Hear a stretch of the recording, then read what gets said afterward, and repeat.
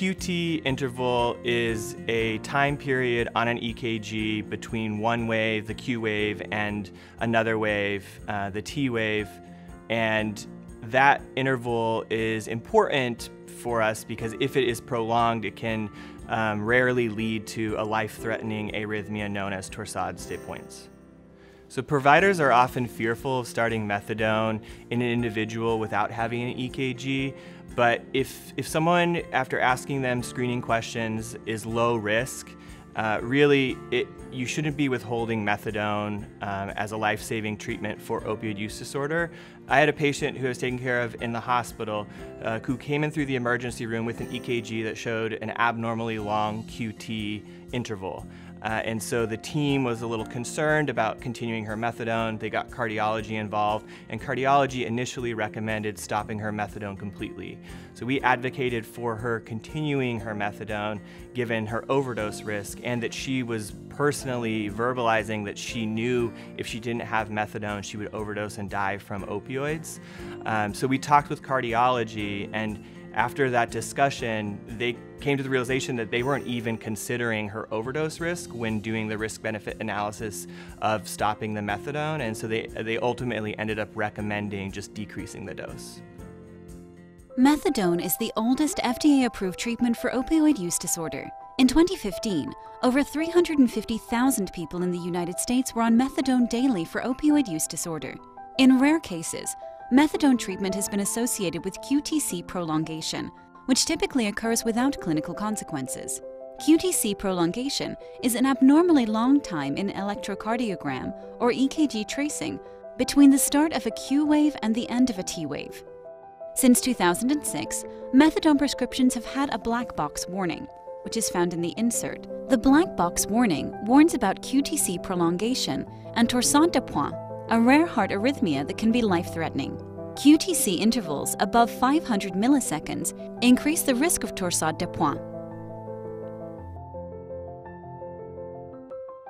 An estimated 2% of patients in methadone treatment experience prolonged QTC. Most torsade de pointes cases occur in patients receiving methadone for pain, not methadone maintenance for opioid use disorder.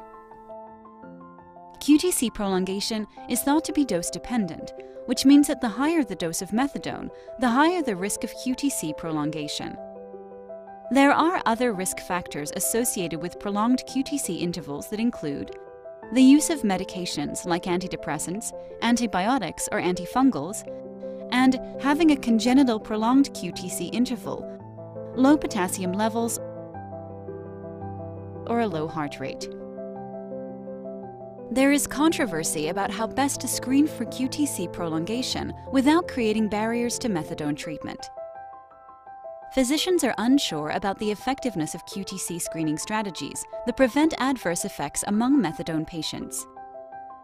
Methadone is a life-saving medication, and the risk of reducing a patient's methadone dose or discontinuing methadone is often relapse, overdose, or death.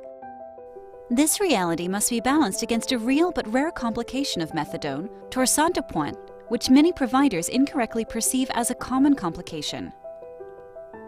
Anxiety regarding prolonged QTC intervals and torsade de leads many providers to rush to decrease the dose or discontinue methadone, which can be a pitfall in the management of patients on methadone.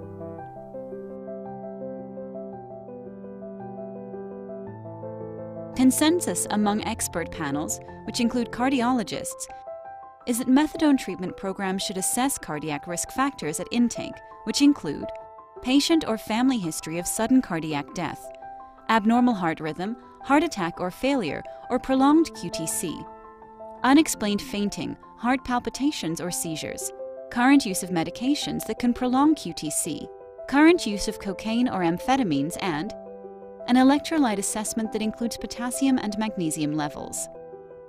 If realistic, opioid treatment providers may consider universal EKG screening, although there is insufficient evidence to support this practice. If a positive risk factor is identified, further assessment should be conducted to help determine the appropriateness of starting methadone. This assessment should include an EKG for patients with one or more risk factors at admission. The EKG should be repeated within 30 days and conducted annually thereafter. If a patient has a QTC interval between 450 and 500 milliseconds, providers should discuss the risks and benefits of methadone maintenance, as well as any other risk factors that can be modified to reduce risk, for example, a medication change. If a patient has a QTC interval above 500 milliseconds, serious consideration should be given to stopping methadone and switching the patient to buprenorphine.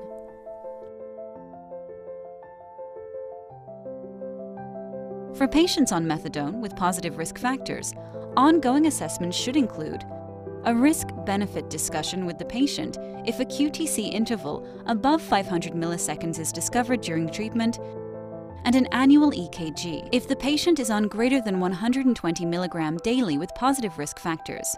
1. Conduct an annual EKG. 2. Strongly consider lowering the methadone dose. 3. Consider stopping other medications that impact QTC, eliminating other risk factors, and 4. If possible, consider transitioning the patient to buprenorphine. In summary, Prolonged QTC in patients taking methadone for treatment of opioid use disorders is rare. Opioid treatment programs should develop a cardiac risk management plan that includes screening patients at initial assessment for risk factors and continuous monitoring of patients on methadone who have risk factors.